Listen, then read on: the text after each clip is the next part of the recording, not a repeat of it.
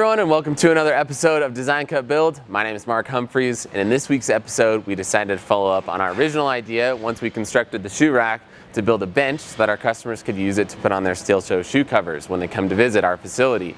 So the concept of the bench was a little more abstract and a little artistic because we wanted to paint it multiple colors, all the colors of the Lincoln Electric color scheme, red, black, and white. So to do that, we decided to bolt on these uh, kind of artistic highlights. Um, I'm not exactly sure where this came from. It kind of was just a concept that I sketched out on a piece of paper for the sides, and then I didn't really want to do the exact same thing on the middle because then you'd have like something inhibiting your feet underneath. So that's why you can see in the construction of the bench that we decided to make it a triangle and that kind of presented some challenges as far as the stability of the bench goes, but it ended up working out. And then we added these seat cushions and overall it's pretty comfortable. So let's go to more of the build process as it started. The majority of the bench is made up of 3 16 hot rolled mild steel. We cut out the design file at 40 amps running about 50 inches per minute. This produced a great cut quality that made preparing the parts for welding very easy. Operating at 40 amps also gave us a smaller kerf width so that we can tightly nest all of the parts together.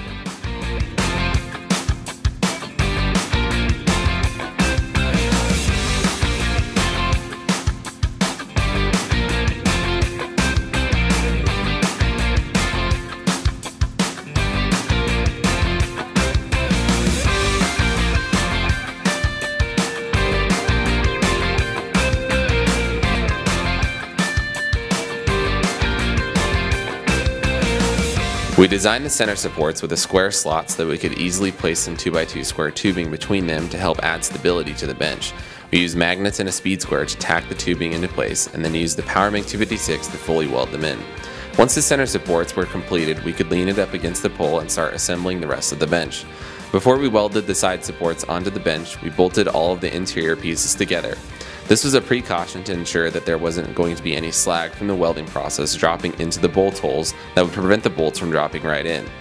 We had one last piece that we weren't able to fit into our original nest of parts so we threw another piece of metal down and got to cutting.